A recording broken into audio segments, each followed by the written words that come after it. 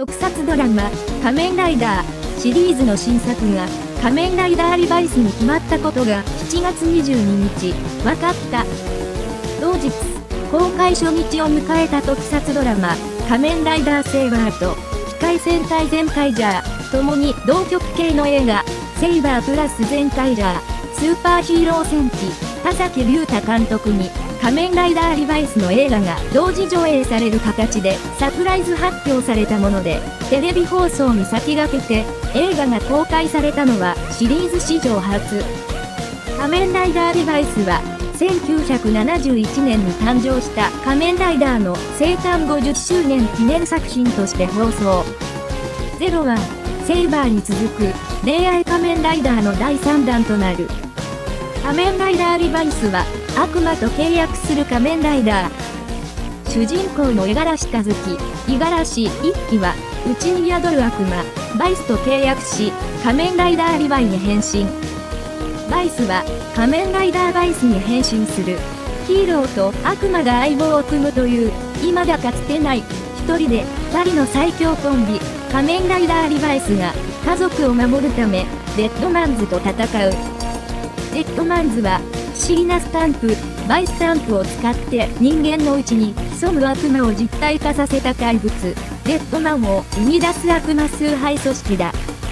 脚本は、悪夢シリーズなどで知られる小説家で映画監督の木下半太さん。監督は、ゼロワン、セイバーなどの柴崎貴行さんが務める。主演を務めるのは若手俳優の前田拳太郎さん。和樹、仮面ライダーリヴァイを演じる前田さんは1999年9月6日生まれ、埼玉県出身の21歳。特技は空手と社交ダンス。今年4月期にテレビ東京他で放送された連続ドラマ、ラブコメの沖亭こじらせ女子と年下男子に出演した。一方のバイス、仮面ライダーバイスの声は人気声優の木村昴さんが演じる。木村さんは人気アニメ、ドラえもん、テレビ朝日系のジャイアン役や、大ヒットアニメ、呪術廻戦の東堂葵役などで知られている。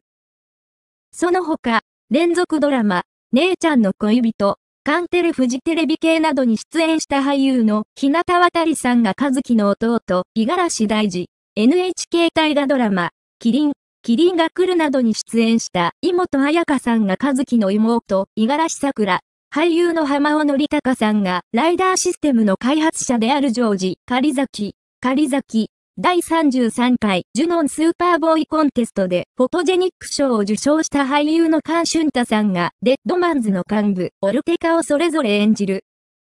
テレビ朝日系で9月5日から毎週日曜午前9時に放送される。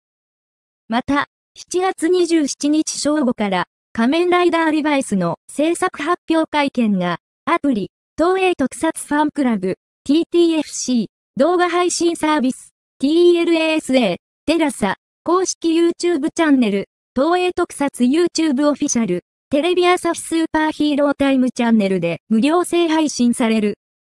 会見では、新たなキャストや主題歌について発表される